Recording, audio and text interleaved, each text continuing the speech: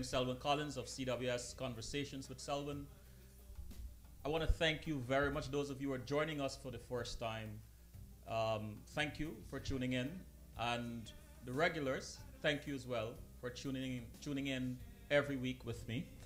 Um, I want to talk a bit about stepping away. Today, a friend of mine called, and um, we were, you know, talking about life. You know, how are you? How are you doing? And so on. And, um, and I mentioned to her that I was a little bit tired. You know, I was working on a project, and I put my own timeline on it and pressuring myself, and so I was tired, and I couldn't solve the problem. And you know, so she gave me one of my own anecdotes, and she said, um, "Well, step away." And then she mentioned a, a, a scripture, I think it was, um, Mark 6:31, about coming away by yourselves and rest a while. And I want to talk a little bit about that because you see, I, I believe that solutions are always there. And when we can't figure something out, it is very important for us to recognize that there is time to take a rest. Just just step away, whatever the situation is. Whether it's in a relationship, I'm not saying give up on your relationships. I'm just saying step away, be still, recalibrate, discharge and recharge. Very, very important.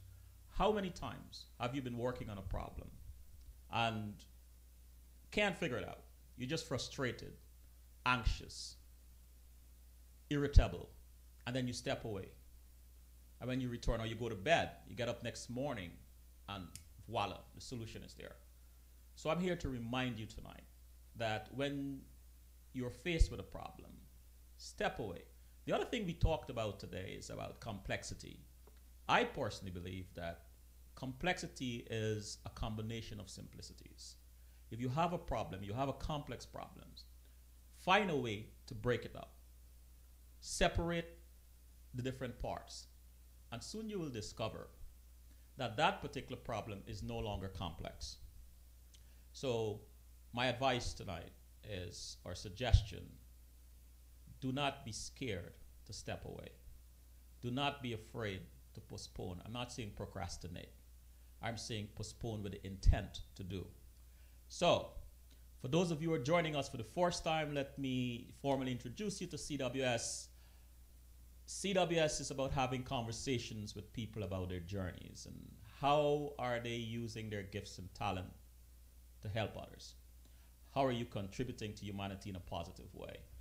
You know, I, I'm, I'm always hoping that in these conversations, the audience comes away learning something, being inspired, being enlight- enlightened, but more importantly, the youth, who I have a vested interest in helping, in transforming, in encouraging, because they are the future of our, they are our future. What I hope is that during these conversations, especially when a guest speaks of their challenges and how they overcame their challenges, my hope is that someone out there can be encouraged to step beyond their limitations and their challenges. This to me is success. When you can just by virtue of sharing your experiences, sharing some of your challenges, help to transform someone. To me, it starts a chain reaction of positiveness. So, without much further ado, I'll take a break. And when I get back, I'll introduce you to our guest tonight, Jasmine Edwards.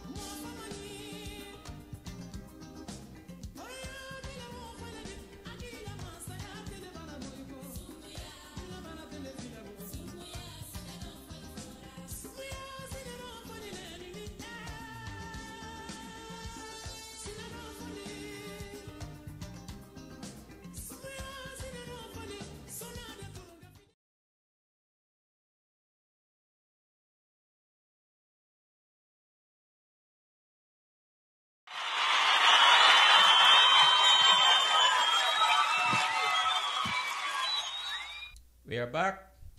Good evening for those of you who are now joining us. I am Selwyn Collins, your host on CWS Conversations with Selwyn.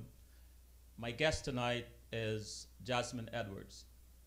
Jasmine, good evening.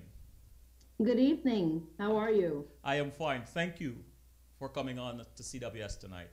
My pleasure. I'm looking forward to this conversation. I'm sure many others by by the the activity on Facebook. I am quite confident that many others are looking forward to this conversation. So Me too. um, so Jasmine, let, let's let's just start off with one a very simple question. You know, um, who is Jasmine O. Edwards, ESQ? Jasmine Campbell Overton Edwards ESQ. Mm. Um, that's my whole long. I apologize. name. Yeah, yeah. Didn't realize. I am a daughter, a sister, a friend. I'm an attorney. I'm an entrepreneur. Um, basically, I think I was I put here to help people. So in any way that I can do that, through my education, my knowledge, my resources, that's pretty much what I do all day. I was a social worker before I became an attorney. An attorney because I wanted to make more and then I figured that behind this, so here I am. Okay. Um, I just realized that sometimes or occasionally, I hope it, it, it doesn't um, escalate. You'll get a little sticking from your recept from your um, broadcast from your end. So Oh. let, let's let's continue. If you know if it happens, I will just pause. Um, just let the audience know that if this happens, I will just stop talking, and so Okay. we- you know, we'd hardly miss anything. Right. So, wow. Thank you. Um, tonight, you know, your your your ad is about law according to me, Yeah. and if I knew what I know now about law, and I mean that that that speaks volumes, and and it's ambiguous, and it's you know it raised eyebrows, and well, what does this mean? But let's start with law according to me. What what what does that mean? From the time that I was a child, I just knew I wanted to become an attorney. I have an aunt who still lives in Guyana. Her name is Elvie Edwards. She's been practicing for probably 50, 60 years now. Wow. And I was home for a funeral, garb with the wig and all of that. And I said, Wow, what do you do? And when she explained to me what her role was in the community, I wanted to be just like her. And so it's been a lifelong journey for me. And I finally entered law school with dreams and aspirations of helping people who look like myself Mm-hmm. may not have had the um, opportunities and knowledge and experience that I had, um, and help them along their own journeys. You know, I New York, and it was just because of a couple of steps to the right that I didn't end up like some of my clients who are behind bars or in family court or you know what have you. Um, unfortunately, I learned that law is much more of a business than a human service industry. And so if you don't have great business acumen, even being a really great attorney, you may not reaching and helping people. So it's been a 10 year journey for me now, but um, well worth it. Well worth it. You know, I, I, I am of this school of thought that it takes nine years of incubation, you know, and then on the tenth year, it's a rebirth. It's the, it's, it's the birth of something new. And I, I understand that there was something new, but we'll talk about that later on. Um, I still want to f- zero in on this, um, on your affair with law, Yeah. your brush with law. Um, you mentioned your aunt and you know her in, inspiring you, um, her being a role model and so on. Tell us a little bit about that. Well, when my aunt and my mother and her siblings were growing up in Guyana, there was no University in Guy- of Guyana. You know, my grandmother was born in 1900, so you know, without giving out my um, family's ages, which they would kill me for, obviously they were living in a different time. There was there was certainly no law school for them to attend in Guyana, so they had to travel abroad. Mhm. My aunt went to Oxford. She went to England to study law, um, and she went as far as Nigeria to practice. But she came back home to serve her community, and she was able to help a lot of people and make a good living for herself. And I just thought that what she did was amazing. Um, as a woman, yes, course, she helped people mhm. um, had no voice and who were not able to help the role model. Um, she was very, very well read and learned and all of that, and I really just admired her acumen and um, her standing in the community. So I wanted to mimic that, but I lived in the states, so it was a very different situation. but but the idea of being a lawyer, I was still uh, um, it, it is sticking a little bit, but let, us continue talking. Um, okay. you, you were saying that you wanted to mimic that, and you know, living in the states, that's a whole different story. But Yes. you had nine years or ten. I mean, you're still doing it, aren't, aren't you? Yeah, this is this will be my eleventh year. Eleventh year. Wow. Wow. And um, so Yeah. what we hear about, well, what I'm hearing here is role model. I'm hearing here respect. Um, so Yes. tell tell us how important it is to you to have a role model. It's very important. I mean, for me, even though I was definitely focused on my goals and was achieving them, it wasn't until my third year of law school, which is the final year, that an attorney came into one of the classes I was taking. Her name happened to be Ellen Edwards, of no relation, a woman of African. She came into our class to speak about her day as a lawyer, and seeing her kind of brought everything home for me because I said, wow, someone who looks like me is actually out there doing this. Because, you know, what you see on TV, like right now we have Scandal and Law and Order, that's not. When I took the bar, um, it was in July of, I guess, 2002, there were 10,000 students who took the bar at the same time and I saw every student of color that I knew because we were just, you know, little chocolate drops in a big glass of milk. Mm. So when you come out of school and enter the real world, it's very different than practicing, you know, in your own school or whatever else. So it was quite a culture shock to be in old school club. And so you have It's um, patient. the reception is kind of kind of bad. It, it stopped just now. After you Oh. said culture shock, could you repeat what what you said after culture shock?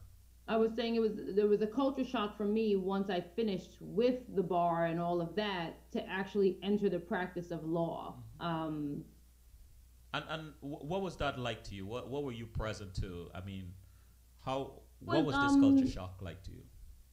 It was difficult. I remember at the time I actually had my hair in locks, Mhm. and I said, well, maybe if I cut my hair, they'll recognize me as an attorney. Even now, they still ask me, "Are you an attorney? Let me see your ID." Ooh. It's it's hard for them to wrap their heads around the fact that someone who looks like me practices law Uh, versus the Board of Education was decided many, many years ago. We're allowed to go to the same schools. The schools are not segregated. There are black people doing all kinds of things. You know, get over it. But it's still a big problem in the community. So for me, it was a culture shock because my mother taught me if you do your best at whatever it is you're doing, you'll be recognized and you'll be able to have a good life. But it's not exactly the case in my profession. so, so so- yeah, go ahead. Sorry. Yeah, so so you had to develop certain skills to cope. Hard work alone. Not in- Absolutely. Absolutely. So, um, you know, I, I usually ask my guests, well, where did this all start? Because I love to explore the guest's timeline, just to give us a kind of um, perspective on who they are and how they got to where, where they are and so on. Not necessarily to get a bio, um, but to get some idea. Well, you know, what informed your decision to do certain things? And you, you went right into it. You spoke about your aunt being an attorney in Guyana and, and you know, inspiring you and so on. Right. And but did you know that you always? I mean, from since then you knew you wanted to do law and you never wavered. Did, did anybody ever um, try to dissuade you or point you in another direction? No, Mhm. no. I'm I'm a consummate. Um, I don't want to say I argue a lot, but I do. Is this argue case or you argue your To- case with anybody? With anyone, Oh, okay. especially especially saying doesn't make sense, I'm not going to let you say just because.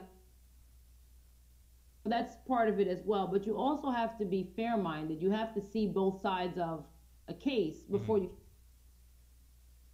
your client's side or whatever um, entity or person you're representing, you're not going to be successful. You have to anticipate. It's like chess.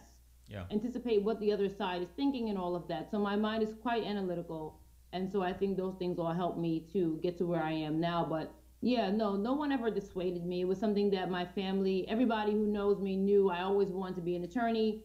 And when I finally went to school and graduated, I had a lot of support from my family and community. And even until now, I've never really done a lot of advertising, but I still have a lot of clients because people just kind of know this is what I'm about. Well, knowing what you're about, and so, what do you think? What do you think? Why do you think they come after you or they, they seek your services? Um, is it just because they know what you're about, or is there so, so, certain qualities about you that stand out? I think there are people who have recommended them to me who say, I think others want a familiar face mm-hmm. um, that they can tell all their confidential secrets to, and knowing that they're not going to move from you know my brain right. to anyone else's um, ears. And um, they take advantage, believe it or not. Um, they assume that they'll get a discount with someone who looks like different reasons. You know, I um, somehow tonight uh, the connection is like beating up on us, but we are troopers. Oh, no. You're a trooper, and so am I, and and we are going to do the show. Um, so, you know, I I'm hearing all this. You know, you started you you uh, when you were young. You knew what you wanted to do, and you went to school. You um, took the bar. You got a culture shock, and so on. And you know, you explain what this culture shock is like. Um, you started working for a private firm, or where where did you start working before you went into private I, practice? I went. I attended Temple undergrad. I received a bachelor's I worked for about a year and then I came back to New York and I got a job at a very large law firm named White and Case. And I worked there for a year while I was applying to law school. Mm-hmm. Attended law school. I knew I did not want more involved with the day to day dealing with clients as opposed to a big corporation. So that's um, that was my intent when I attended law school and graduated. And and so when when did this entrepreneurial bug hit you? Did when you graduated from high uh, law school, did you go into private practice right away or? Yeah, pretty much. I mean, you take the bar exam. I took it in July. We didn't receive our results until November. So mm-hmm. I worked with some of my professors who took a liking to me and interest in me mm-hmm. um, until I found that I did actually pass the bar. I was sworn into the bar April of 2003, April 9th and I think I had my first case by April 11th. You uh, know, it was just waiting for my paperwork to come. And a person who wanted to work for someone else. Mm-hmm. So I knew pretty early on that that wasn't what I wanted to do. The firm life um, has a for me for the long term. Uh, we didn't get that. The firm life has a what? The firm life has a lot of perks. Oh. Mm-hmm. A lot of benefits um, and actually, not so much now because the recession, things have changed greatly. What I wanted to do with my career in law. Mm-hmm. Um, I had a partner at the firm write me a recommendation letter, and I, I would still attend law school after being at the firm because he thought it was insane because the um, profession is so stressful mm-hmm. that he couldn't imagine that someone who had seen it up front would still actually go and attend law school and want to practice. And I explained to him that not everyone worked the way those attorneys did. So for me, I wanted to help people in my community. You know, my mother was a single mother. She had to go to family court. I had cousins who had been deported. I had friends who have been arrested. Mm. Big corporations just make more and more money. And again, in my own life, there were things that I had done that I just didn't get in trouble for. Mm-hmm. It's the only reason why I wasn't sitting across the desk from myself. So I wanted to assist those those persons. I like that. I, I, I like that your environment uh, you know, sort of informed your your your decision or your Yeah. choice rather. I like that, and I like that. I, you know, I. I, I don't like qu- writing questions down. I don't believe in it. I, I love the organicness of having a conversation with people, and um, and I love to follow the flow. And you mentioned, you know, um, people in your your environment, your your neighborhood, your family had um, situations that require legal uh, counsel and so on, and you, you were driven to help these people, so to speak, to provide this service, and I like that. And I mean, I hope that any young person that is listening tonight is you know is paying attention to this. That it is not uh, only about. It's not really about me.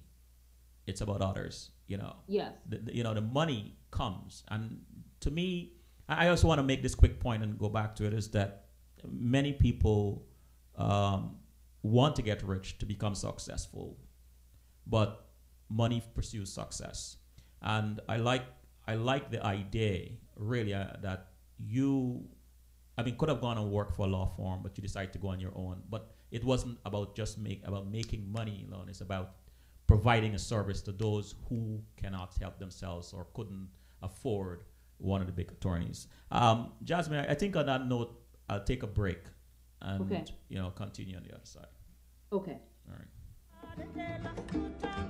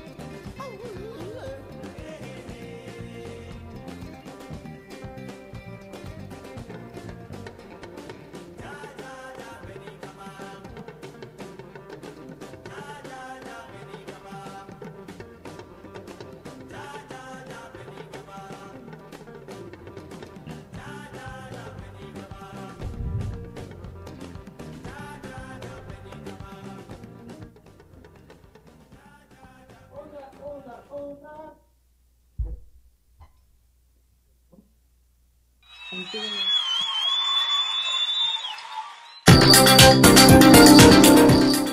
We are back. Um, I'm Selwyn Collins of CWS. For those who are now joining us, my guest this evening is Jasmine Edwards.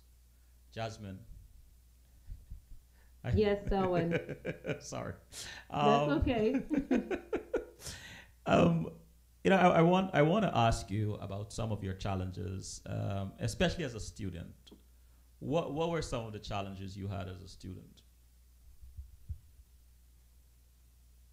Hi. Did we get freeze out again? the foundation that I had as a student was not really any different from my counterparts in school, regardless of their backgrounds or anything. Jasmine. It was about the hold, hold a second. I am I'm so sorry to do this, but um, that's okay. be, because it's it's sticking the, uh, the the audience not not hearing your full sentences.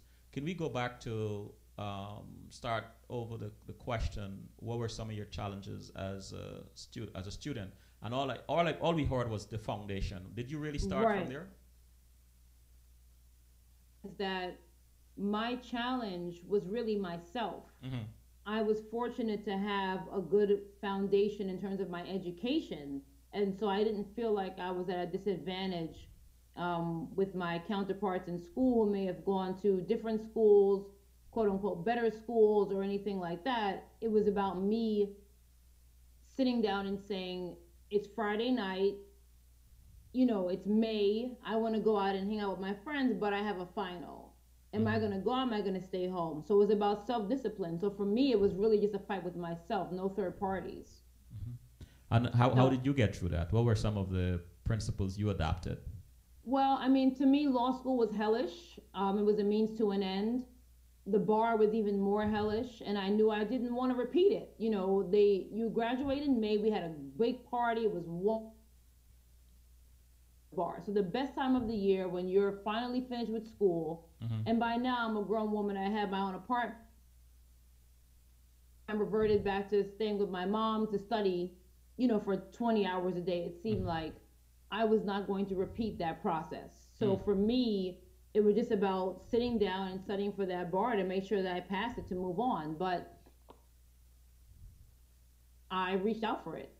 We had a writing center at the school. I went. Any professor who said, come talk to me, I went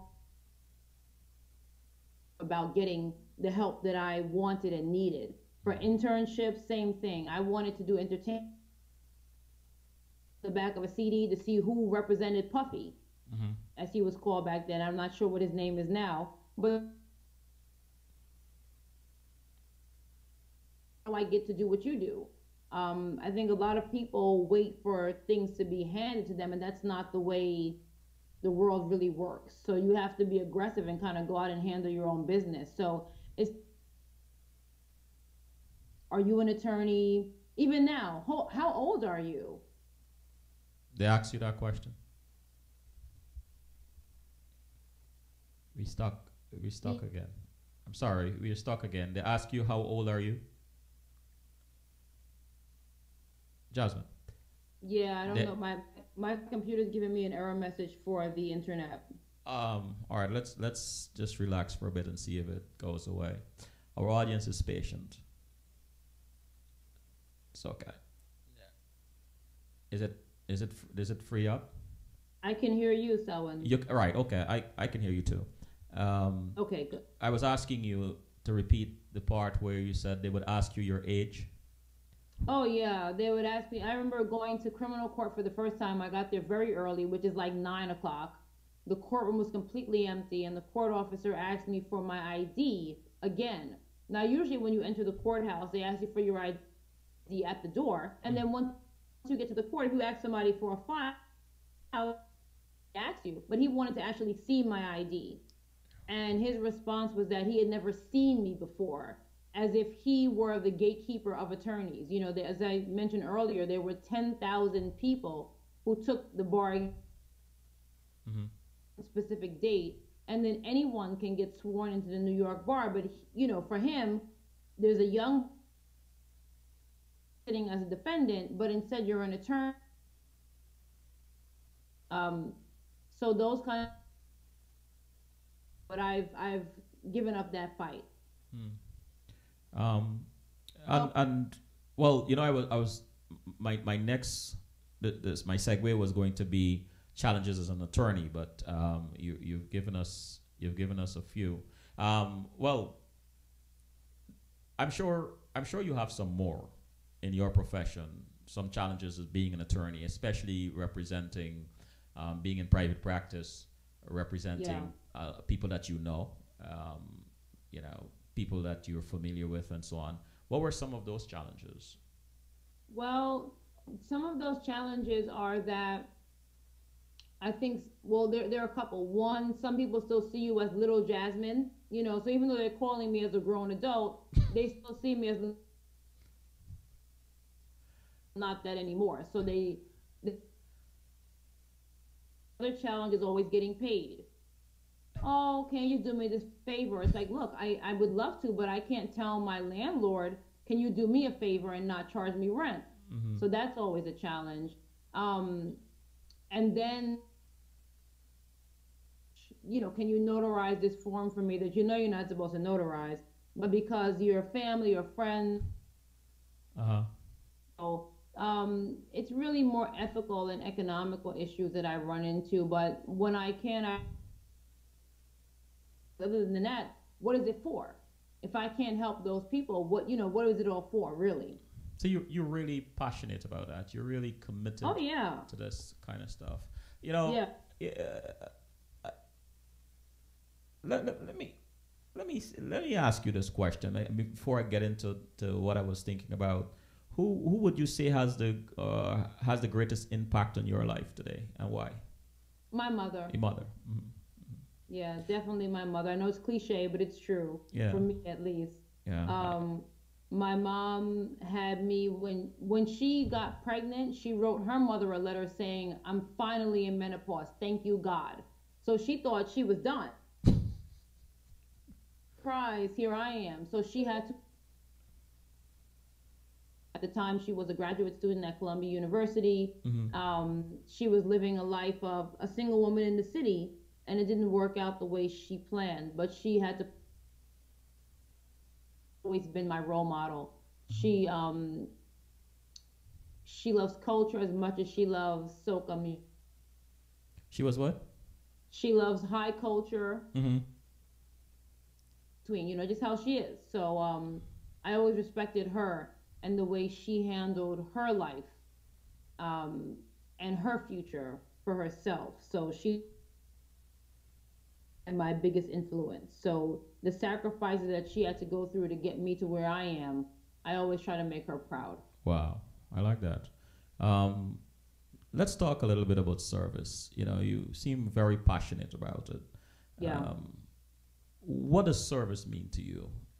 You know. Service to me over the years has changed. Um, when I first finished undergraduate school, I was a social worker. I worked with um, families who had uh, been accused of neglecting or abusing their children. And I would go into these people's homes to try to help care for their children. Meanwhile, I had no children. Mm-hmm. To school, they should be clean, they should be well fed. But there's so many issues behind the neglect that it's it's almost impossible for a single social worker to address them all. Mm-hmm. And so I wanted to kind of be behind that so that I could, um, you know, better affect what would happen with their futures. Mm-hmm. Um, now, when I go into the criminal court, especially the criminal and family court, really, really make me very sad because when I go there, I see a lot of young people of color who are very comfortable in court. They don't seem nervous. They don't have suits on. They're not crying. It's like, you know, you see your friends there and you hang out. And I, I don't know when that happens, you know. Um, so for me, at this practicing service meant giving them good legal advice. But at this point, I prefer to be more proactive. I don't want to meet you in the hallway of criminal court because by then it's too late. So what what what what what do you want to do, or what are you know? Well, what I've been doing over the years is going to speak to, to students at schools. Um, I try to encourage people to do estate planning. I do know your rights sessions. I um, this many of us are being deported. Mm-hmm. Uh, you know, unfortunately, you never know you're gonna have to commit a crime. It just happens sometimes. Nobody wakes up in the morning and says, "Today I'm gonna get arrested and then I'll be deported." You know, soon thereafter. Life happens, um, and so I'd rather be proactive. And so for me, again, at one point, legal help in court that they can get, but now it's changed to let me help them not be in court at all. Once you have to see an attorney, it's if it's an estate, they're going to take a third of your family's money off the top and they'll do it gladly. If you're in criminal court, the DAs and the judges have mandatory sentencing. You're already going down the river. I can't really help you. I can talk for you. Mm-hmm. You've been accused of. You can't afford to even fight this case. You know what I mean? Family court, same thing. You know, why not find an elder in your family or, or a friend in common that you can sit down and say, when can I visit with my child, rather than paying some attorney thousands of dollars because of some vendetta you have against the mother or father of your child? Mm. I'm I'm over it. You know, I when I go to the family court and there's only one in Brooklyn and I see only black and Hispanic people, it enrages me. Where are the Caucasian people? Where the Hasidic Jews? They all live in Brooklyn, but they're not in that courthouse. Do you- Why? They must have family conflict, but we don't seem to have gotten a handle on how to deal with ours better.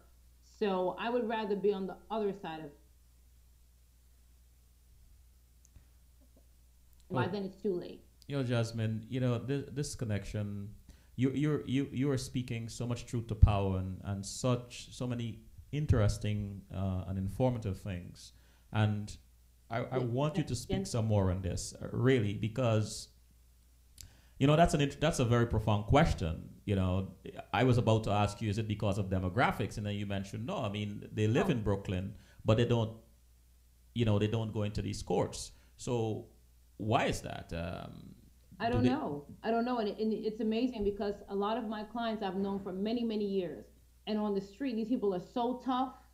You know, they they have the most guns, the most drugs, the biggest car, all of that. But when they get into court, it's like we're scared of white people. What we is don't talk up for ourselves. You know, we don't we don't know when to be tough and when to to to kind of fall back. And I'm not sure when this happened. You know. Um, So something happened. Some, some. I mean, uh, you know, our, our foreparents, and well, I'm not from here, but you know, I, I can think of Malcolm X and Martin Luther and and Right. uh, and all these people, Stokely Carmichael, and all these people who fought for change and, and fought for civil rights, basic civil rights. And you know, today when I and, and this is no slight on young people, but I'm from a different generation. I'm going to speak to it because I, I don't like it. Walking with their pants sagging and so on and so forth. Right. And you know, you see all these things, and uh, you know, as you mentioned just now, acting tough on the street, but when you get into court, right. There's a whole different story. And Right. You're now you're a mouse. When you need to really because you're talking about your freedom, hmm. your family, your tell you how many mothers have come to me because their son is in jail. They talk to the attorney on their behalf. That's your son. That child was in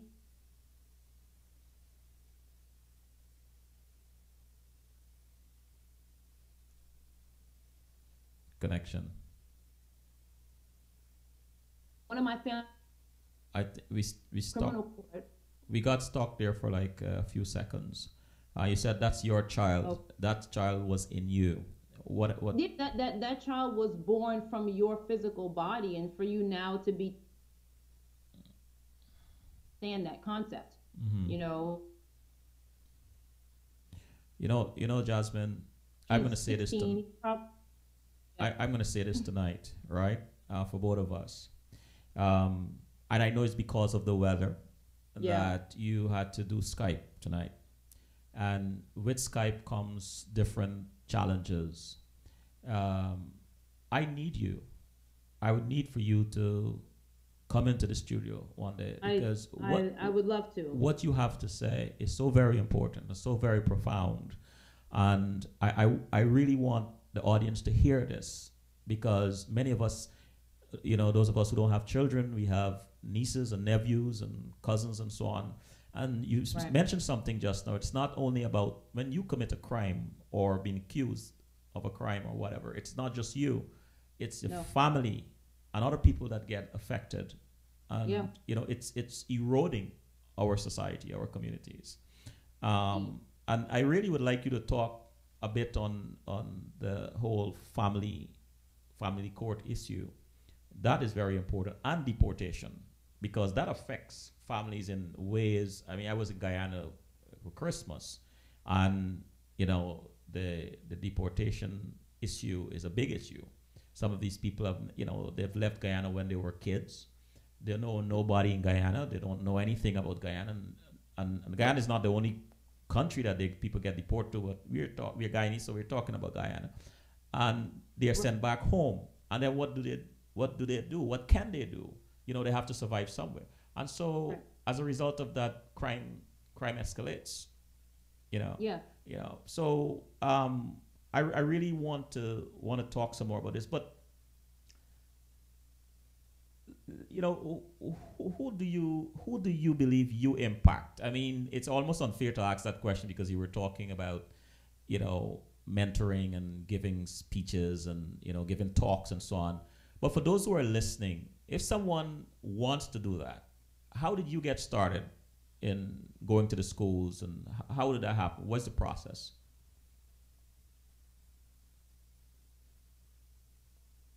Did you hear me? Working. Oh, we got stuck again. Yeah. it's all right. That's right. It's, it's okay. Right. It's okay. Um, but um, I, I basically did research on the different schools. Um, I always tell people now the most important thing for you to focus on is the LSAT. And the LSAT is the the test that you have. So with your LSAT score, scripts and all of that, your work history, you will be admitted to law school or not.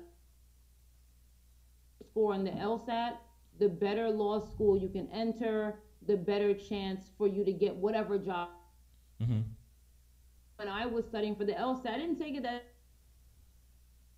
money, and I really didn't care that much. I know I wanted to go to law school, but I certainly didn't um, put my all into it. And so when I got my score back, it was in the middle, and I could have applied to a bunch of big schools, but at that time, even I probably my mentors at the time was working at the firm, mm-hmm. um, and they would bring in about 200 summer associates, and that's every in Asian, black. They had three. That's it. And he said to me, "Listen, if you're not going to go to Yale or Harvard, just go wherever." He chose to go to CUNY Law School, which is in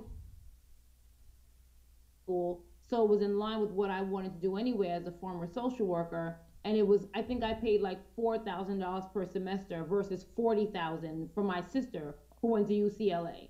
Wow. So um, it was a choice that I made because I knew I was not looking for a firm to give me a job. Mm-hmm. So you, it, I always tell people start at the end of what you want to do and work your way back. if you know you want to work at White and Case, you everything's on the internet. They will tell you where their associates have graduated from, what their credentials that person, you can get that job. Mm-hmm. If you want to work at legal aid, you do the same thing. For me, I wanted to work for myself, so I really didn't care. You know, I needed my degree. Let's pass the on. Um, so I, I was never ashamed, and even now, I'm not ashamed to ask anyone a question. I'm quite aggressive when I want something, and I, you know, you, you have to kind of you have to humble yourself. Mm-hmm. And as attorney, the first couple times you go to court, you will be humbled because the judge will ask you, where did you go to school? Really? What are you talking about, Miss Edwards? Yeah, I mean they'll they'll cut you down in five seconds. You have to take it on the shoulder and keep it moving. So with that, you have to build a tough skin, and so you can't be a, afraid or ashamed to ask people questions about how you can move forward. I mentioned earlier that uh, um, an attorney came into my classroom when I was in school, and this is over 11 years ago. Her name is Ellen Edwards. I spoke to her up to last week because after class I approached her and said, I want to do what you're doing. And we're still in contact until this day. So a lot of people took an interest in me because I took an interest in myself. I like that. I, I love that. Somebody to say, oh, you look like you might be successful. Let me try to help you out. It doesn't go like that. What are you bringing to the table? So I always would approach people that I thought I could learn something from, and I would hang around them, you know, and, and people welcome that you know, an, an eager an eager student um, will definitely find a good teacher every time. I like that. I mean, you you you are you're you're so wise. I mean, you're really dropping some pearls of wisdom here tonight. I, I especially like the the principle of stepping out, and you know, you step out first, and you know, it, it, it speaks to that adage that God help those who help themselves. You Absolutely. you reach out for us and people will you know see what you're doing and and and help you rather than go out begging for hands hands out. I like that. Right. So um how how were you how were you as a, a mentee? You spoke of humility just now but how were you as a mentee as a mentee, I think I was pretty good. Mm-hmm. Um, I had a professor who she even asked me to house sit for her. That's how that's how fond of side drive and like one so I'm like, of course. But I was eager to learn from anyone. Um, the next attorney I worked for did immigration law. Um, he's of Jewish descent. Mm-hmm. First person that he hired ever after practicing for 25 years. So I think that kind of trust that would put into me um, speaks for itself. But I was fortunate to have all types of jobs as I was growing up. I've worked at Costco, I've worked at Home Depot, I've worked in offices, I've worked in schools, and so I can do everything in my office from soup to nuts. I'm not that attorney who can't type their own memo. I can do everything myself, but I can manage my staff as well. So I think work hard, people will respond to that. And they will be willing to help you because if you're if you're gonna rest on your laurels, once again, people don't really want to inherit another issue because we all have our own. You're Repeat that, Jasmine. Repeat that. yourself better. Repeat. Somebody's gonna say, you know what, this person is about their business. Let me see what I can do to push them along. But if you're like, oh, help me, you know, I don't know what to do, it's, it's not gonna work. I, I, was asking you to repeat that first part. I mean, we heard it, but it was so profound. Um, people don't want another issue. No, we all have our issues. Everybody has problems with their spouse, with their kids, with their bills, with their parents I don't want to inherit another issue.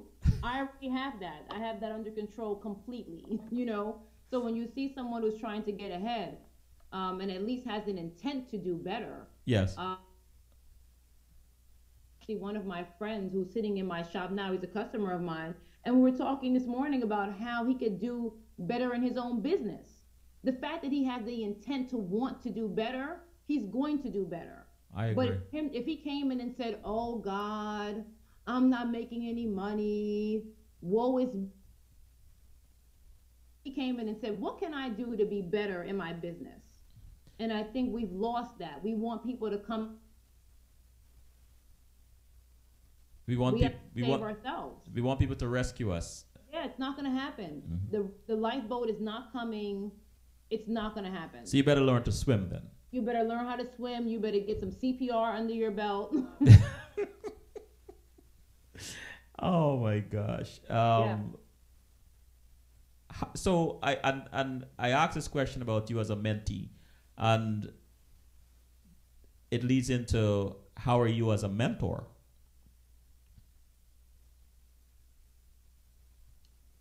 As many questions as you have to ask me, I will certainly answer. Uh-huh. Um, no, I was I was saying how is how are you as a mentor? any questions that someone has for me, I will oh, certainly. Oh, oh, oh, gotcha. Sorry, I'm yeah, sorry, I, sorry. That's okay. Sorry. I've been involved with 100 Black Women, um, the Harlem chapter for many years, and every a mentorship program that's sponsored by L'Oreal. And if you want to be whatever it is, fill in the blank, they will send you to the office of that person for at least a day, sometimes longer. So just kind of see what they do day to day. So I always tell the people who come to me, you have to stay in touch with me so if you come to my office for a day, uh-huh. email, send me a text. Don't send me a for a recommendation to law school when I haven't talked to you. You know, so they're just little things that I think um, are not taught in school anymore by parents anymore that I try to impart to the people that I mentor. So right. I've had mentors, you know, mentees for 10 years who are now friends of mine. Wow. Um, but yeah, I've done it all from the beginning to the end. So I, I think I'm a very good mentor because I've lived life. I haven't had a picture perfect life. But who does? Who has? Um, I, I want to go to the chat room. Kali, Kali asked, uh, thanks for sharing so candidly. What are the advantages that you benefited from by pursuing a law degree in the manner that you did? the advantages that I've had, um, really the number one advantage is to pick and choose who you want to represent. I'm able to plan my day in any fashion that I choose. I hear someone's story and I want to take their case, I can take it. There's no supervisor telling me I have to take it or that I can't take it. Mm-hmm.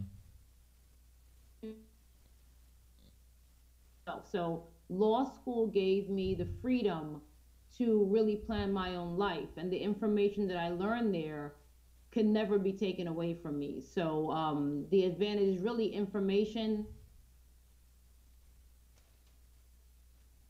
So, um, Kali asked again, uh, looking back at your job experiences, do you see a pattern of how things ca- came to you? A pattern. I'm sorry, I missed part of Um, looking back at your job experiences, do you see a pattern for how for how things came to you? Yes. Um, I think that if you ask for help, you'll get it. So I would always tell people, I'm looking for a job. Do you know anybody who has anything? Um, and they would say yes or no. So um, things have come to me because I've pretty much asked for it or gone after it. Uh, um, when I got the job at the law firm that I mentioned before, it was because I had written to many different agencies when I was still in Philadelphia I, and I had to go on a lot of interviews to get that job, but I did. Um, so reach and out some- and, and ask. yes, exactly. Ask and you shall receive. You may have to ask 20 times, but at some point, you you will get what you're asking for. But you have to be you have to persevere. You can't doesn't always fall into your lap. Um, the first job I got out of college was because I saw one of my friends off campus who said, "Oh, I'm working at XYZ place, and maybe you can get a job there too." I got the information. I called right away, Uh-huh. and I was able to get an employment that way. Um, when I was finished with law school, one of my house sit for her said, "You know, don't." 40 grand a year, you can do this on your own with help of attorneys who are practicing. And I did that. Sometimes I regret it, but I think it was the best thing for me to do. Um, and it, it's worked out to my advantage. So I think the first thing is knowing what do you want to do? What do you want to do? And once you've defined that, then you will go after the opportunities that will further those objectives. But you can't do it for your family or friends or what's going to look good or look bad. You have to first know what you want to do and then go after it. So you, so you're not influenced by what people are going to say, who is going to laugh if you fail. You, you're not influenced by those things. I'm only asking these questions for the for the young people that are listening. I'm not saying that I'm not influenced, but it, it doesn't influence me more than what I want for myself. Ooh. Yeah. So it's not that I don't hear that that I'm still going to be number one. So the thing that you want, the the thing that you want or you're going after, has to be greater than your Yeah. fear of the, the the ridicule, the consequence, and you know the negativity. I like that. And and Kali said, loving that loving that you are emphasizing the power of intention. Yes, the power of intention is very, very important. And there are times that you are going to fail. There are times that I walked out of court like, damn, that hurt, you know. But you have to keep it moving. You know, what are you gonna do? Go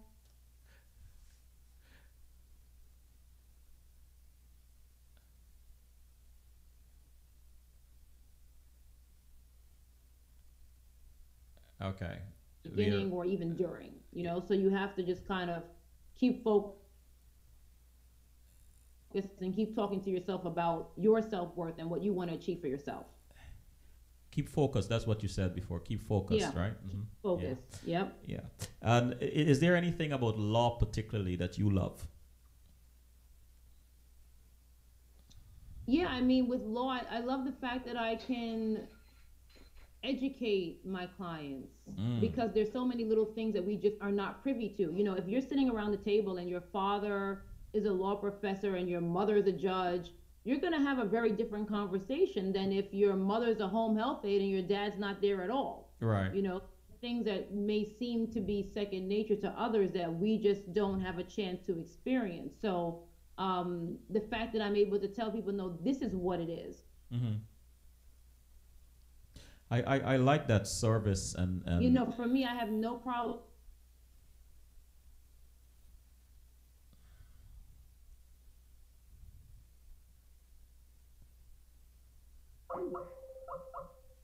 Let's try to get you back.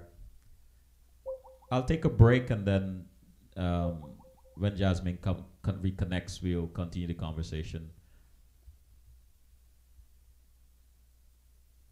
So, and Ha! Oh, you're there. Yeah, and Uh, my my computer was saying they were trying to reconnect the call. Okay, all right. We can. We still. We have audio. So. Okay, very good. Um, so yeah, I was saying. We we kind of lost audio. Let Jasmine, Can you hear me? can you hear me? What I'll do, I'll take a break, Okay. and you call me back during the break.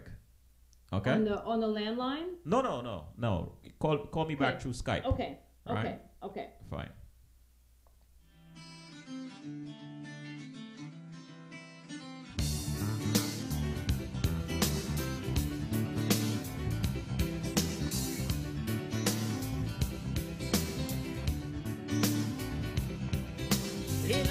Ilanga lishonile bafana mazibu izinkomo zobaba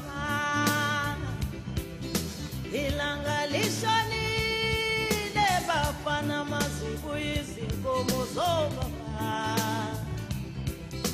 ilanga selishonile bafana mazibu izinkomo zobaba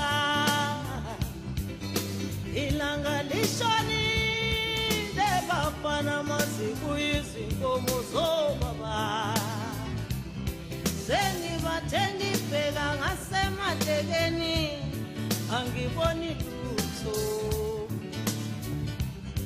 sengibathe nibheka ngasemadekeni angiboni lutho sengibathe nibheka ngasemadekeni angiboni lutho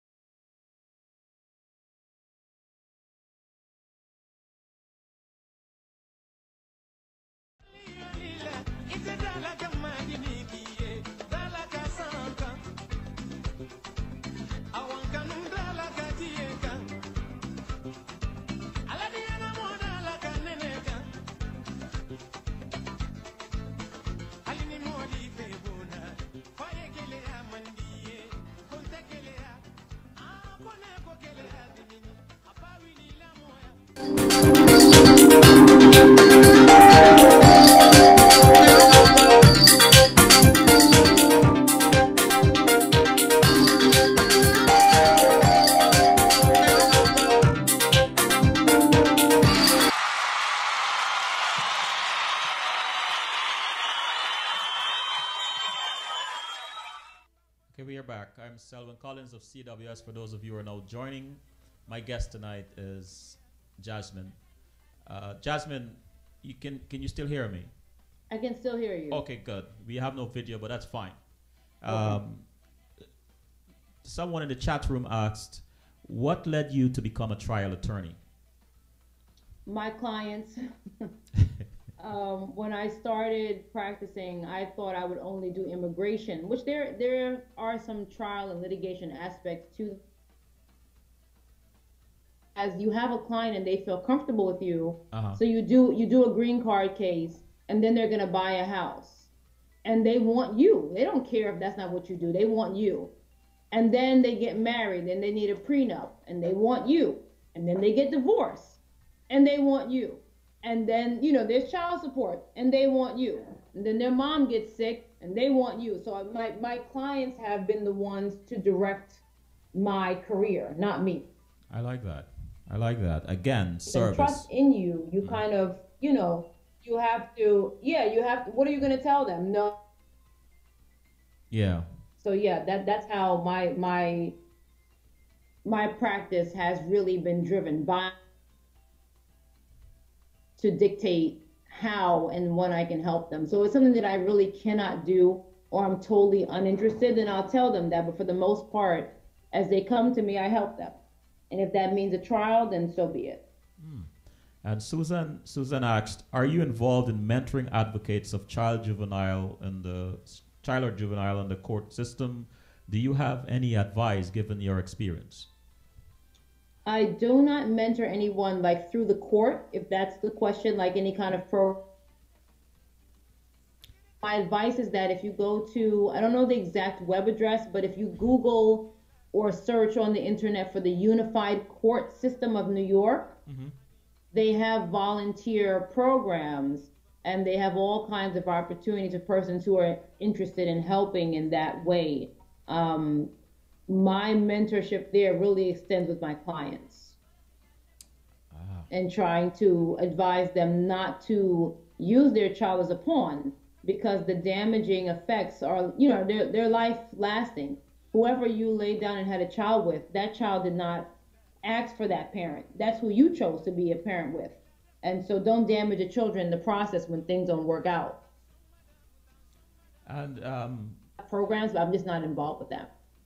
See. I, I, I want to touch the other part of the ad. Um, if I knew what I know now about law, Yes. tell us a little bit about that. about law, I would tell, and this is really coming from a person who worked as a solo practitioner. Uh-huh. So if I had worked in a firm where they took care of billing and filing and all that stuff, it would probably be a different um, experience. But for me, being my knowledge of law kind of takes a back seat. If you don't have a proper accountant, you're dead in the water. Hmm. If you don't have a good paralegal, you're dead in the water. So you can know the law all day. You know, you could pass the bar, you could have the best grades in school, but if you don't have good business acumen, you're not going to make it. When I was in school, we used to laugh at the people on TV like Jacoby and Meyers and Cellino and Barnes. That was a joke because attorneys who are about their craft don't have to advertise on TV Mm-hmm. making the money because they're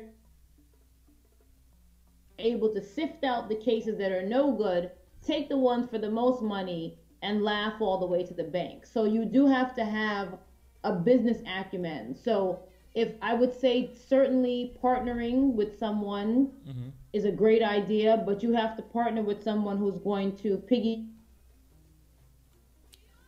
So if both of you have no desire to do paperwork, you're going to be in trouble. You know, somebody of that issue because it's not just about knowing the law. You have to know how to navigate a business. And there are a lot of things that are entailed there that we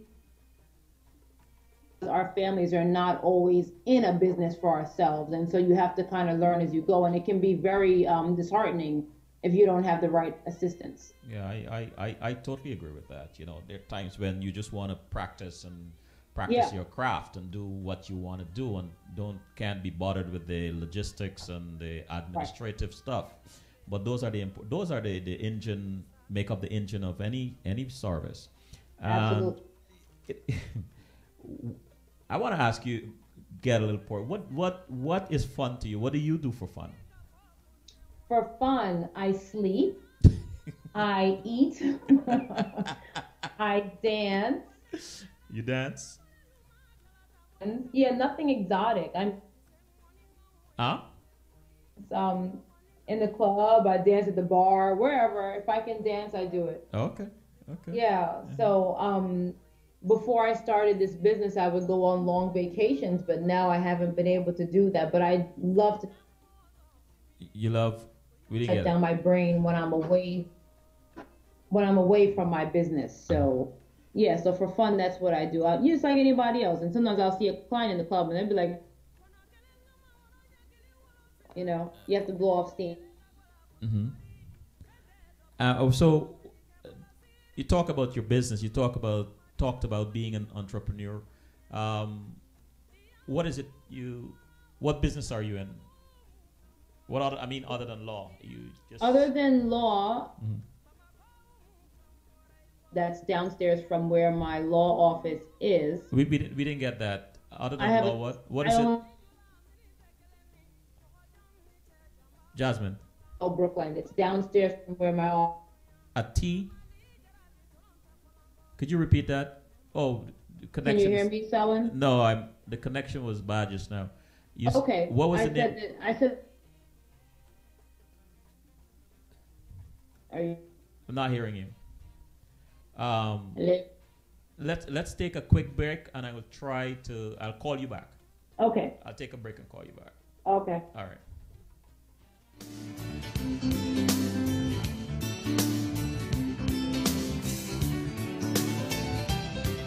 wasiyolobola ngani na wasiyeka inkomo zobaba zemuka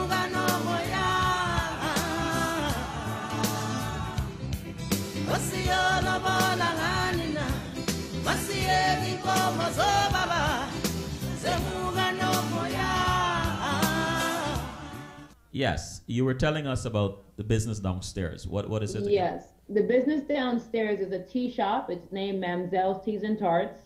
One lesson I learned in business that you always should open something or start something that you yourself would patronize. So there were times that I would spend desk working on something. I didn't want pizza. I don't want a burger. And being from Guyana, there's an appreciation. Appre- So appreciation um, for what? For you said tea, right? yes, Uh huh. or a tea party at the work. So um, we started a business downstairs from where my law office is, where we serve high quality loose teas and West Indian patties to the people in Dumbo. It's a pretty eclectic community, but so far things are great. And so, where is this exactly? Where's what is the address? It's between J and Pearl, J and what? High Street. And we get our patties from Tota's Bakery on Utica, their Guyanese bakery.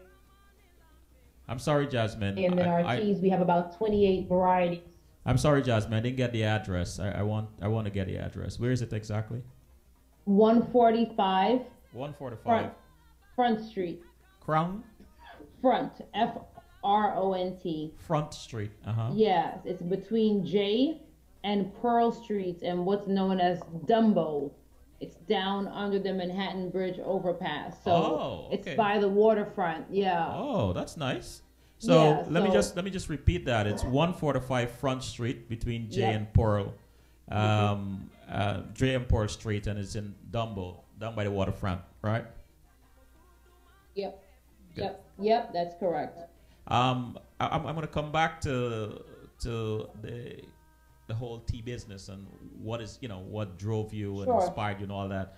Um, I just want to go to the chat room. Pat asked, "What ha- what lessons have you taken from your law practice that have helped you in your new business?" That have hurt me. No, no, that. What lessons have you taken from your law practice that have helped you in your new business? I'm thinking. Um, there are a lot of lessons. I think um, the main one is if you fail to plan, you plan to fail. Ooh.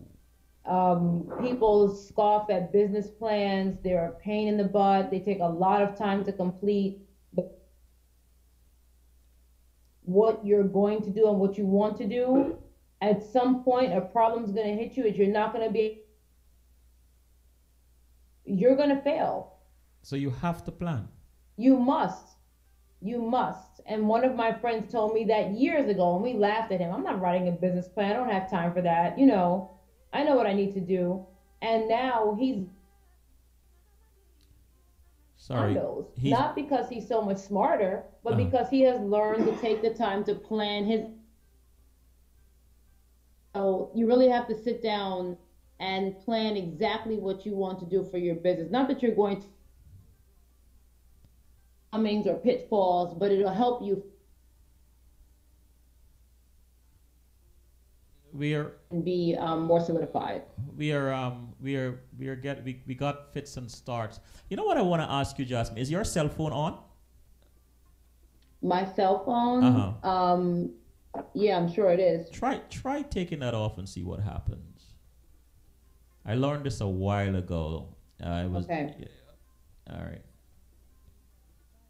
Okay, let's go back to your friend who um, wrote a business plan or advised you to write a business plan, and you were Right. hesitant. Tell us about that. Right. One of my friends that I went to undergrad with, he started a t-shirt company. hmm And at one point, one of my friends and I had a, a fashion line. And he said, the best thing I tell you to do is write a business plan. And we're like, oh, please, you know, we know all about fashion. Our designs are hot. Forget a business plan. And we didn't listen to him. And we should have, because if we did, we'd probably still be in business now. But sitting down and writing out exactly what you want to do, what your objectives are, who your competition is, puts you in a mind frame that you have for yourself before you even open those doors. And I think people try to jump into things too prematurely, and in the end, you you may pay for it. Not everybody, but a lot of times you may.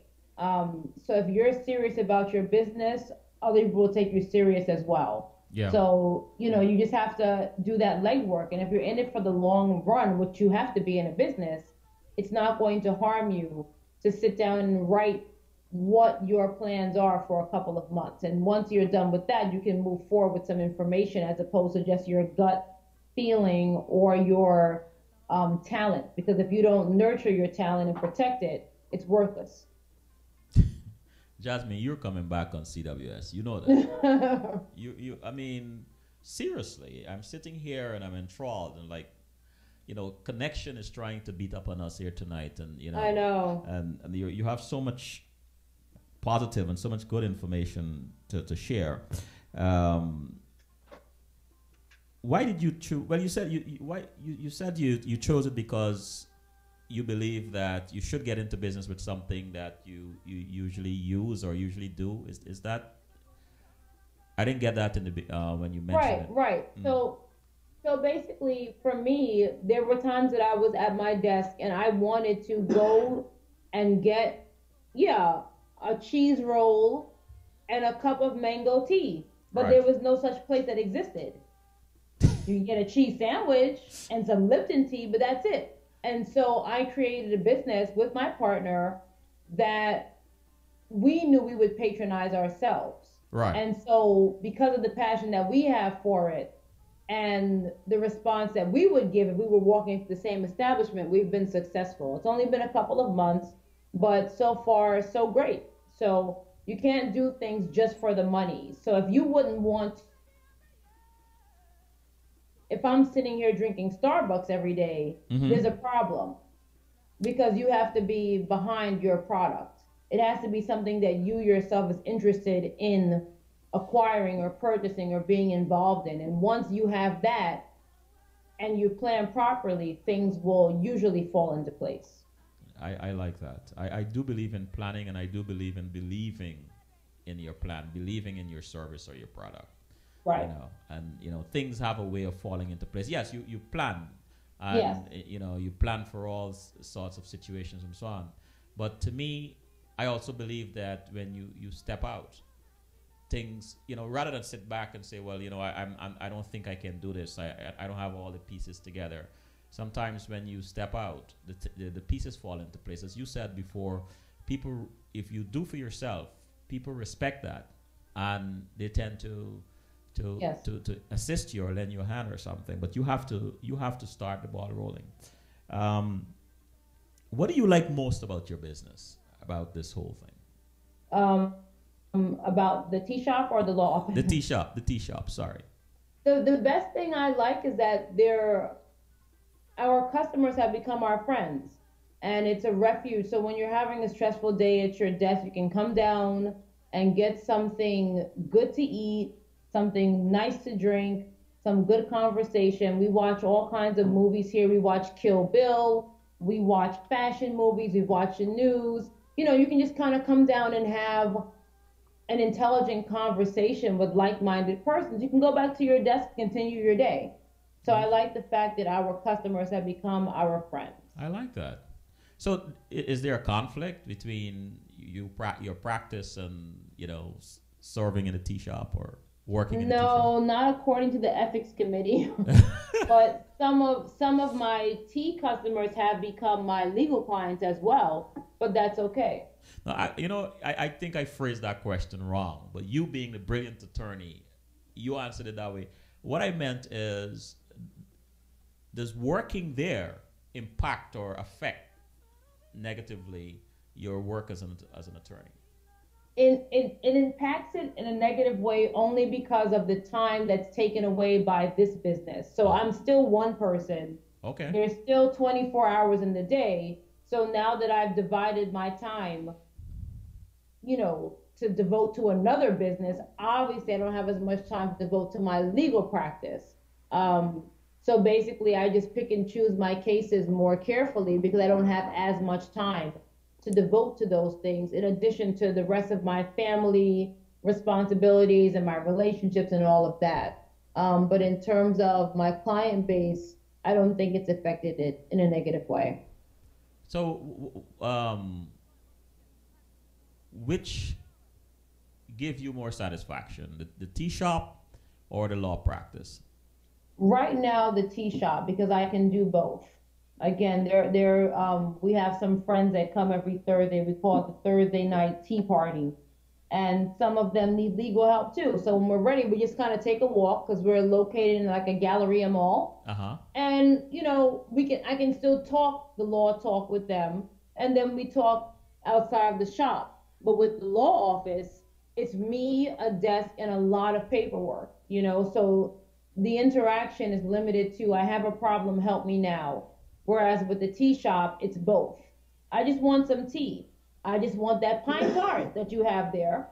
And sometimes they also want legal advice. So I think um, the tea shop is a better balance for my personality because people people coming to me always with a problem and a dilemma, it makes me sad sometimes. You know, you kind of take that into your spirit. Right. So the fact that people are not only coming to me with a problem, I think is better for me personally.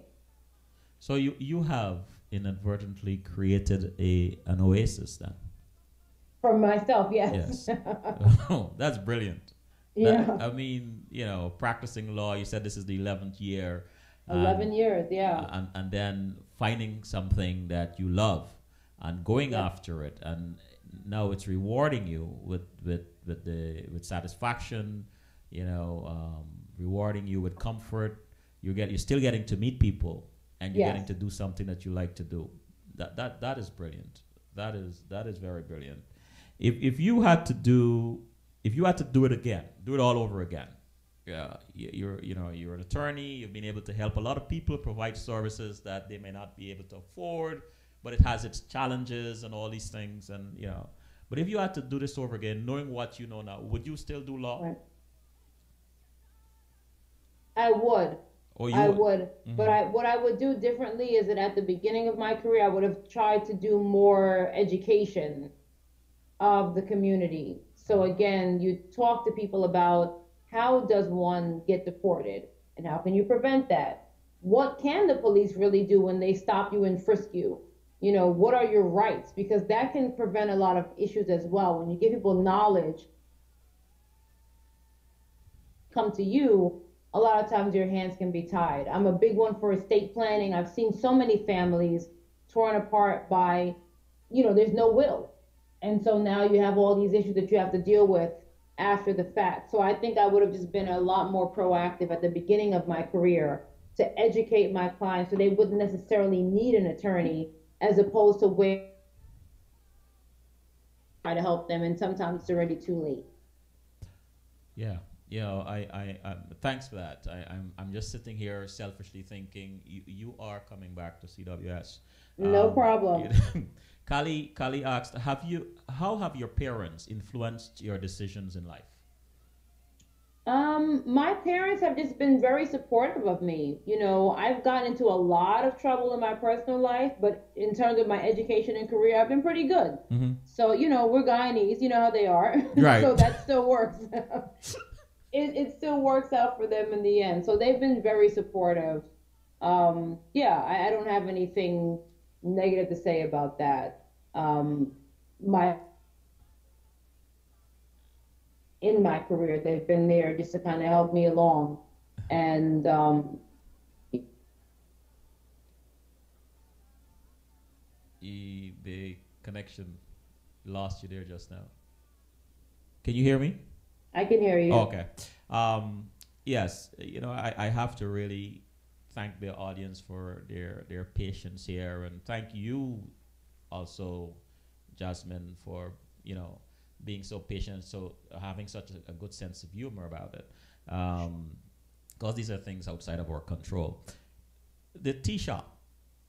What what are your hours? Uh, Yeah. Is it like early in the morning, late at night? What what what hours? Right now, we're here from 11 to 6, but usually, like today, I got here early and my customers came in early. Um, I'm here now. Somebody will ask for tea if they see me. So, you know, we're here from 11 to 6 officially, but if you come early, we may be here. If you come late, we'll probably be here too. We get new teas in almost every week. Um, and we're in a Galleria mall where there's a lot of shopping and very um, special small businesses that a lot of my friends and family, when they come here, they're astonished at what's going on in this small little part of Brooklyn. So I, it's I, worth the trip. I, I must I must come down there one day. I really must come down and see what this is all about. Um, Yeah, you have to. I you have to come and have tea with us. I will. I definitely will. Um, Callie asked, "What was your inspiration for the tea shop?" I just always had a love affair with tea. My mom is one of my best friends, and we have traveled all over the city and all over the world having tea here and there. Uh-huh. Um, our favorite place to have, well, we have two favorites, well, three. There's one in Paris and two in Manhattan. Mm. Spend a lot of money to get a really good cup of tea, and you have to be dressed in a certain way, otherwise, you feel out of character. And so, we wanted to bring that experience to a casual type location. So, if you have on sweatpants, come on in. If you're in your church best, come on in. So it's it's it's high tea, but in a casual setting. So really, that's what we wanted to do. We wanted to bring that quality of tea to the masses. You don't have to um, feel out of place when you come here because it's for everyone. And uh, Callie, Callie asked, uh, to tell us, tell us about the meditative aspects of drinking a cup of tea. Oh man. Well, first of all, tea is usually made with hot water, Yes. and so you have to let it cool off, and so you must sit down and relax. and a lot of times in our society, we're running so much that there's no time to sit down and relax. So when you drink a cup of tea, you have to let it steep. That can be four or five minutes. Then you have to let it cool off. Another four or five minutes. And by then, when you actually start to drink that tea, you've brought your own anxiety down, you've relaxed your own self, and the tea actually is very healthy. Um, tea has many, many health benefits in it that we're not even aware of. Um, a lot of antioxidants that can help you prevent certain diseases and certainly fight off things like colds and things like that. So um, there's a health aspect and also just an enjoyable um, component to drinking a warm cup of liquid that smells and tastes delicious.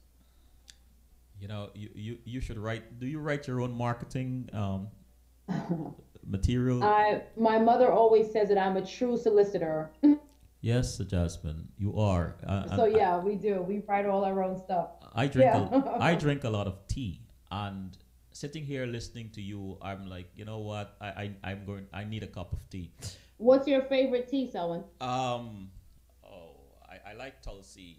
Um, what, what is it? Tulsi, either mango, uh, red chai masala. Okay. Um, sometimes, um, yeah, I, I'm, I'm kind of like drawing a blank right now. Uh, Okay. Um, We have we have about 28 different varieties of tea. So we have green tea, black tea, white tea, oolong, you Oolong. name it, we have it. I like oolong too. This is great. Um, a question in the in the chat room. it's good. It's good. I, I, I am coming. I am coming. I, I must come on uh, uh, to visit You with have to you and to patronize your, your, your establishment, your business. I will. Um, Lynn said, It's beautiful to hear a high powered attorney advocating the beauty of taking time out to have a cup of tea. Thank you. And Joan asked, Where do you, where do you source your teas? Right now we source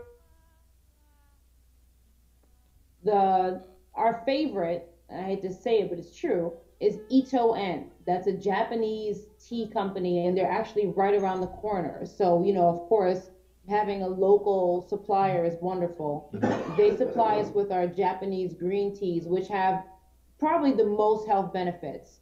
Our second is Harney and Sons. They're an American company. They're located in upstate New York, and they also have a shop in Soho. They have amazing blends of black teas, white teas, oolongs, and then we also get our um, teas from Tenren, which is a Chinese com- company um, in Chinatown. Okay. Okay. We And- are working on our private label. You you are. You're gonna provide your Yes, own, we are. you're gonna provide your own tea. Yeah, because after, you know, we, we have our own love for the teas that we drink. And of course, our, our customers come in and tell us what they like and what they don't like. And so we're going to develop a brand around um, our experience and our customer suggestions. I I I might be able to um, make some suggestions. I, I know of one person that um, actually manufactures tea and Okay. and, and sh- you know exports it all over the world. is is Guyanese. I'll we'll talk offline. I'll I'll con- make a connection there for you and see Yeah, where this that'll be that'll be wonderful. I mean, we when we created our menu, we made sure to get teas from different um, backgrounds. So we have a tea that is from South America. It's from Ecuador.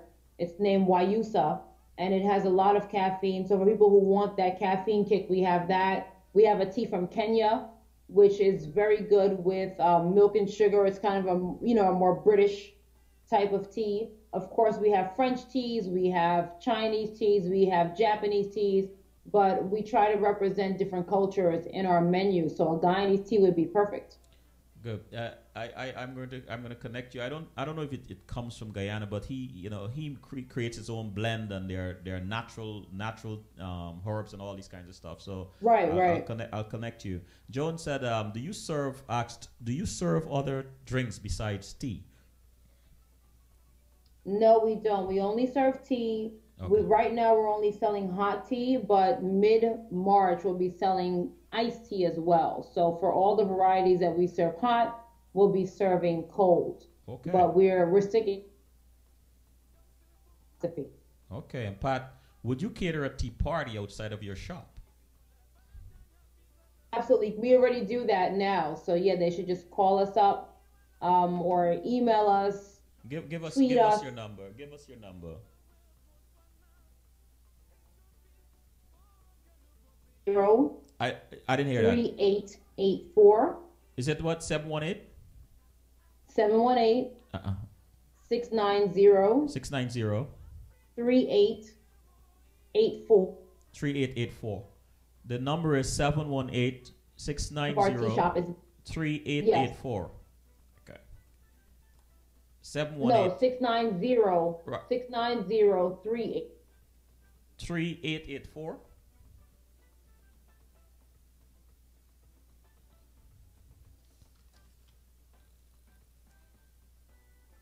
Yes. Jasmine? Hello? of tea parties. Actually, tomorrow we're going to be doing an office customers. So we do a lot of that work already in um, Dumbo. Okay. And um, thank thank you, C. Someone posted the number 718-690-3884.